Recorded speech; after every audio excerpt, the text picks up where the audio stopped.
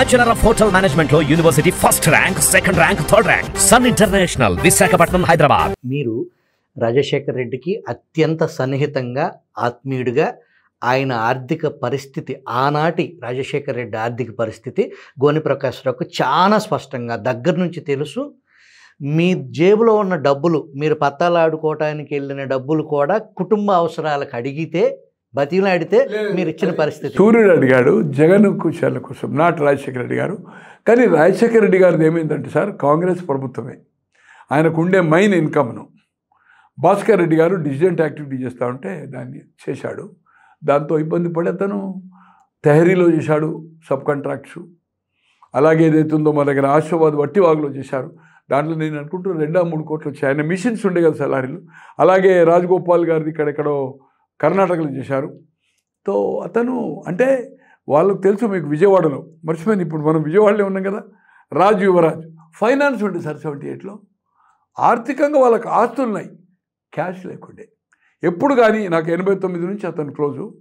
Every election ఆయనకు వచ్చే చందాలంతా వేరే ఒక పది పన్నెండు మంది ఎంపీలకు ఇస్తాడు.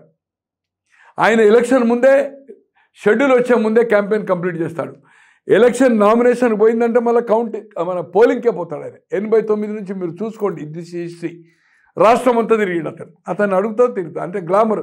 ఎనభై మూడులో ఎప్పుడైతే పీసేసాడో కానీ అప్పటికే ఒక పవర్ ప్రాజెక్ట్ పెట్టి ఈయన కంటిన్యూ అయింది దాన్ని. ఈయన పాలిటిక్స్లో పీసీసీ అయినాక అది ప్రాఫిట్లో వచ్చాయి బట్ ఇన్ని ఆస్తులు ఏదైతుందో సంపాదించింది తండ్రిని అడ్డం పెట్టుకొని మిమ్మల్ని జగన్ కోసమా? బదులు అడిగింది.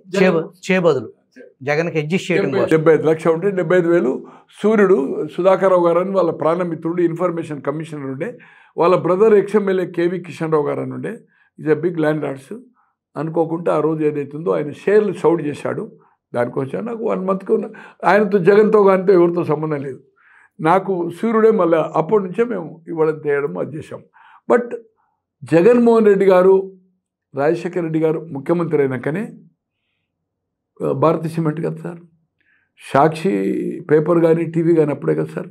బంగ్లా అక్కడ ప్యాలెస్ కట్టింది అప్పుడే కదా సార్? అంటే ఆయన బెంగళూరులో ఉండి రాజశేఖర రెడ్డి గారు అడ్డం పెట్టుకొని వీళ్ళందరినీ ఇండియా సిమెంట్ ఈయనకు షెడ్యూల్గా పెట్టినప్పుడు క్లాస్మేట్ సార్? దోస్తా? ఎందుకు పెట్టింది సార్? రాజశేఖర రెడ్డి కొడుకనే ఏదో బెనిఫిట్ జరుగుతుందని అలాగే దాల్మియా అలాగే పెన్నా సిమెంటు అలాగే నిమ్మ నిమ్మగడ్డ ఆయన పేరేంది? ఆయన పేరేంది? నిమ్మగడ్డ ఉన్నాడుగా ఫేమస్?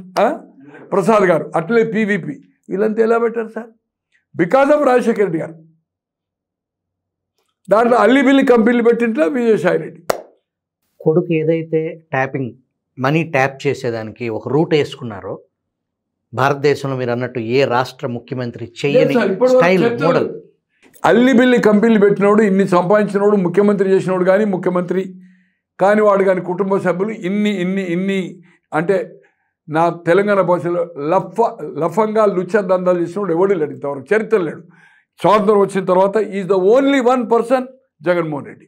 ఇవి ఆనాటి ముఖ్యమంత్రి తండ్రి రాజశేఖర్ రెడ్డికి తెలవకుండానే జరిగినాయి అని అనుకోవచ్చా? టు బి ఫ్రాంక్ సార్ నేను అబద్ధం చెప్పను. ఇల్లు కూడా ఆయన చూడలేదు సార్. కేవీపీ ఇల్లు చూడలేదు సార్ కంప్లీట్. డబ్బులు పంపితే పంపిస్తా పోయాడు.